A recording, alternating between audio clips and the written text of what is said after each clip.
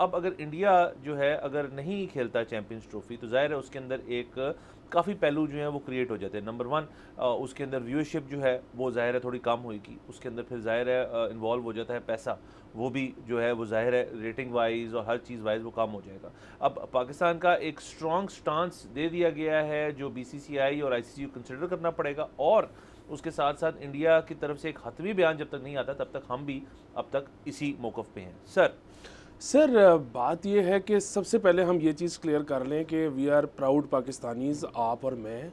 और हमारा ये ख्याल है कि जिस वक्त पूरी दुनिया पाकिस्तान क्रिकेट खेलने नहीं आ रही थी सिक्योरिटी रीजंस की वजह से, जिसमें ऑस्ट्रेलिया और इंग्लैंड शामिल थे और आईसीसी ने हमें क्लियर नहीं किया हुआ था, उस वक्त इंडिया भी नहीं आता था, हम गिला भी नहीं करते थे। लेकिन अब जबकि आईसीसी ने हमें क्लियर कर दिया है, ऑस्ट्रेलिया और इंग्लैंड आ रहे हैं और ज़ाहिर है वो आने से पहले, हर दफ़ा आने से पहले उनकी एक टीम आती है, वो सिक्योरिटी का जायज़ा लेती है और उसमें हम क्लियर हुए हैं। सो अब अगर इंडिया नहीं आ रहा तो ये इंडिया के ऊपर है। सो हम इस अब गिला करना हमारा हक है।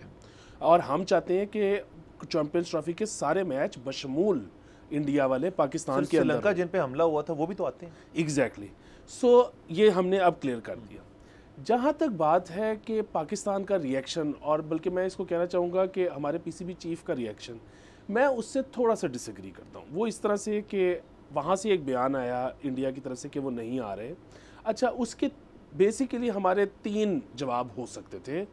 जो भी इनको, पाकिस्तान को या चीफ जो हमारे पीसीबी के हैं, उनको पसंद आता। है नंबर एक वही कि जी या तो इंडिया की मान लेते और श्रीलंका में या कहीं और पे उनके मैचेस रख लेते। अच्छा वो नहीं करना फाइन ज़बरदस्त।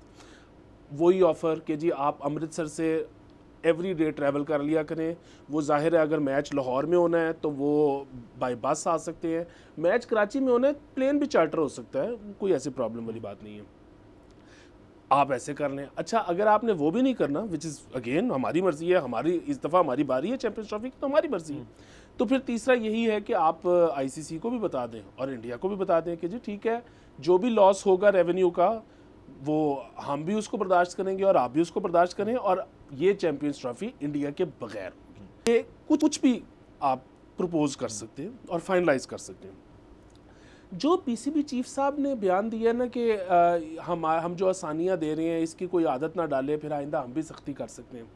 अच्छा ये है थ्रेट अगेन मुझे अगेन मुझे थ्रेट में कोई प्रॉब्लम नहीं है। देखें दुनिया है ज़िंदगी है इसमें प्यार मोहब्बत भी होता है इसमें थ्रेट भी होता है पार्ट ऑफ़ लाइफ लेकिन थ्रेट का जो एक वाहिद प्रॉब्लम है ना वो ये है कि फिर उसको फॉलो अप भी करना पड़ता है। सो so, हम अनफॉर्चुनेटली इस वक्त उस सिचुएशन में नहीं है कि हम उसको फॉलो अप कर सकें। मैं वो भी एक्सप्लेन कर देता हूँ कैसे।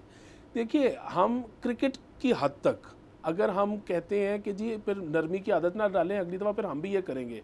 इसका क्या मतलब है कि कल को अगर एक आईसीसी टूर्नामेंट या बायलैटरल सीरीज़ इंडिया में होती है, जिसमें पाकिस्तान को दावत मिलती है तो पाकिस्तान ये कहेगा कि हमने भी नहीं जाना। अगेन पाकिस्तान जो है ना फाइनेंशियली ये अफोर्ड नहीं करता। हम उसमें मतलब इंडिया का तो जो नुकसान होगा, सो होगा। हम अपना बहुत नुकसान करवा लेंगे। सो मेरा ये ख्याल है कि पाकिस्तान के क्रिकेट बोर्ड जो चलाते हैं, उनकी अपनी तनख्वाहें वहाँ से निकलनी होती हैं। वो ऐसा फ़ैसला नहीं कर पाएँगे। मतलब ये जो है ना प्रॉबेबल नहीं है। हो तो कुछ भी सकता है दुनिया में। तो अगर हम उसको बैक करने की, अपनी थ्रेट को बैक करने की ताकत नहीं रखते तो फिर मेरे ख्याल में इस तरह का रवैया नहीं रखना चाहिए। अगेन देखें हमारे मुल्क की सॉवरेंटी हर चीज़ अपनी जगह लेकिन ये जो क्रिकेट है लाइक like, मैं तो इसको कहता हूँ कि ये बेसिकली परफॉर्मिंग आर्ट है। ठीक है आप क्यों करते हो ये? आप करते हो इससे ज़र मुबादला कमाने के लिए। वहाँ पर जो लोग देखने आते हैं ग्राउंड में आप उनको टिकट बेचते हो। जो टीवी पे देखते हैं आप उनको एड बेचते हो। हर चीज़ बेसिकली ये टीम्स खेलती ही रेवेन्यू जनरेशन के लिए। सब्सक्राइब करें और बेल दबाएँ ताकि कोई खबर रह न जाए।